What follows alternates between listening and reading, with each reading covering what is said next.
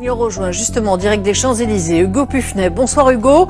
Le calme est, est revenu ce soir, on le voit derrière vous.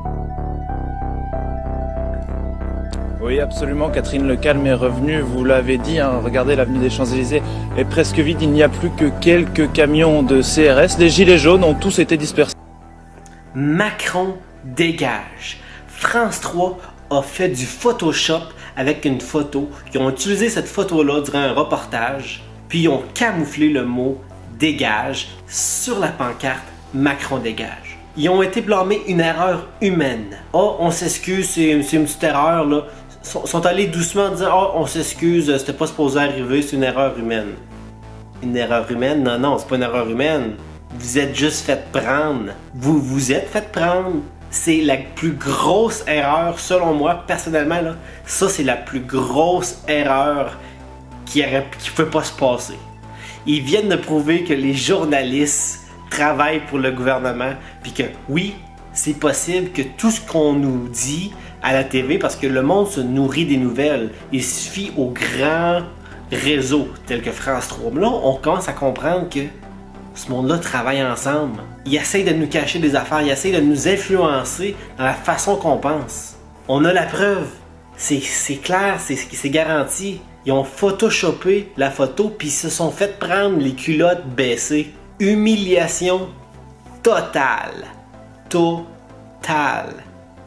En plus, avec tout ce qui se passe aux États-Unis, avec Donald Trump, qui a collé les fake news, fake news en disant que tout ce que vous voyez à la TV, c'est modifié pour vous influencer. Ça peut être des menteries, mais ils vont vous les donner, puis ils vont vous donner juste ce qu'ils ont envie de vous donner, puis ils vous donneront pas la vraie Ils vont toujours camoufler la réalité pour servir leurs propres intérêts. On a la preuve directement là où est-ce que France 3 a camouflé Macron dégage pour juste mettre Macron. Quasiment comme on dit, oui, Macron, let's go. Non, c'est Macron dégage la vraie photo. Fait que d'après moi, là, juste ça, là, ça va, ça va scraper encore plus les affaires. Si le monde, il, le monde sont pas caves. Le monde sont tannés, puis de plus en plus, le monde pense que les gilets jaunes, là, ça va s'essouffler. De semaine en semaine, le gouvernement, il, rajoute plus d'interdictions, plus d'interdictions. Puis ça, il essaie vraiment d'étouffer le plus possible en bloquant tout. C'est sûr, le gouvernement ne veut pas que ça s'en aille vers quoi que ça s'en va en ce moment. Ils veulent pas. Fait qu'ils font comme. Ils font leur possible pour étouffer, pour dire bon, ok, vous avez assez niaisé, c'est beau, on passe à d'autres choses, on revient comme c'était avant. Mais les Français sont tenaces. Très, très, très tenaces.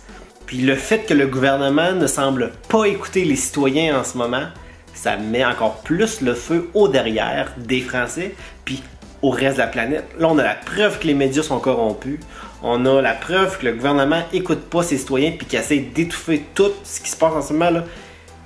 Il bloque les rues, il s'assure qu'il fouille le monde pour être sûr que tout est correct. C'est sûr, ils veulent qu'il y ait des manifestants, ils veulent qu'il y ait des manifestations pacifiques.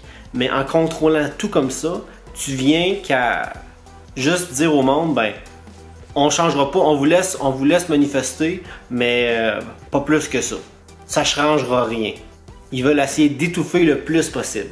Je vous le dis, selon moi, personnellement, c'est le début de quelque chose de plus gros qu'on pense. D'après moi, ça meurra pas, ça, cette histoire de gilet jaune-là.